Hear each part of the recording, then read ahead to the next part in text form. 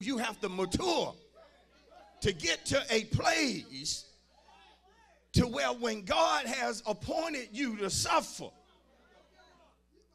you don't complain and murmur like the average Christian, as if they don't have an understanding that if our Lord suffered, then likewise we're going to suffer.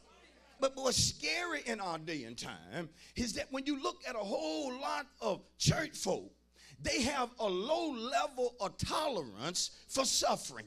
Yeah, yeah, I'm not talking about the world. I'm, talking about folk that claim to be saved, folk that claim they have a genuine relationship with God, but they have a low level of tolerance. Folks sitting up in the church hearing the word week in and week out, but can't go through nothing folk that complain about every little bit of trouble that come their way.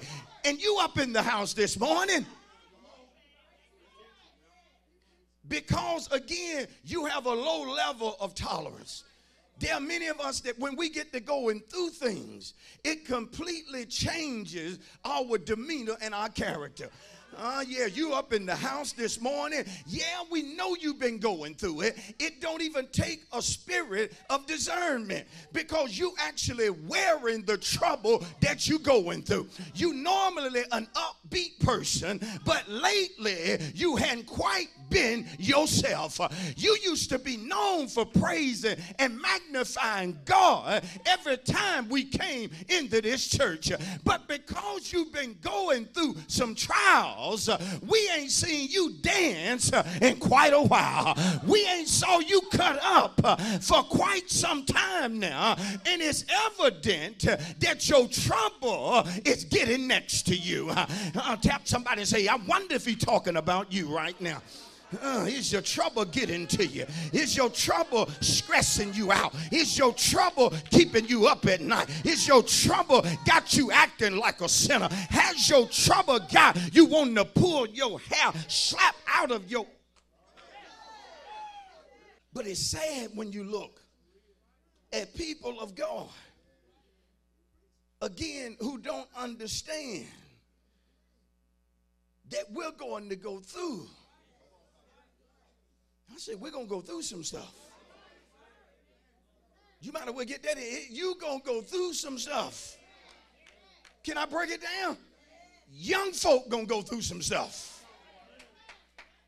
Well, Pastor, I ain't but 16. If you 16 and saved, you going to go through some stuff. Can I keep breaking it down? Single folk going to go through some stuff. Uh, you better listen. Even if you meet your boo, even if you meet somebody that you think might be the one, you ain't exempt from going through trouble because you done fell in love. Mm, yeah, single folk going through something. But then at the same time, if you married, you going through some stuff. Oh, look at these married folk jumping up, identifying that you're going to go through some stuff you're going to go through something that has been appointed by your God. He has assigned you a day of trouble. He has assigned for you to go through a season where folk going to talk about you even though you're trying to do the right thing. Anybody identify with folk lying on you? Be seated as you're being seated, shout. That's a part of it. Folk gonna talk about you if you do right or if you do wrong. If you don't go to church at all, they're going to talk about you. They're going to say you need to get your end up and go to church sometime. But then if you go to church all the time, they're going to tell you you stand up at the church too much. Folk going to find something to talk about. How many know that's right? In the church and outside the church. Up in the church, folk talking about you, folk looking at you crazy, folk rolling their eyes at you one minute and on the altar the next minute, playing with God, playing church.